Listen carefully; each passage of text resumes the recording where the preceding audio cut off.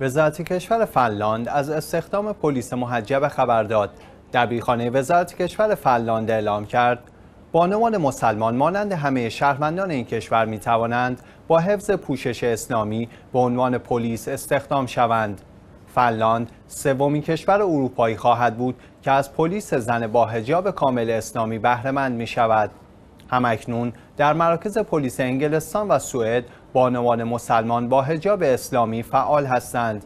اما در دیگر کشورهای اروپایی مشکلات فراوانی برای بانوان محجبه وجود دارد که ممکن است در بلند مدت باعث انزوای آنها شود.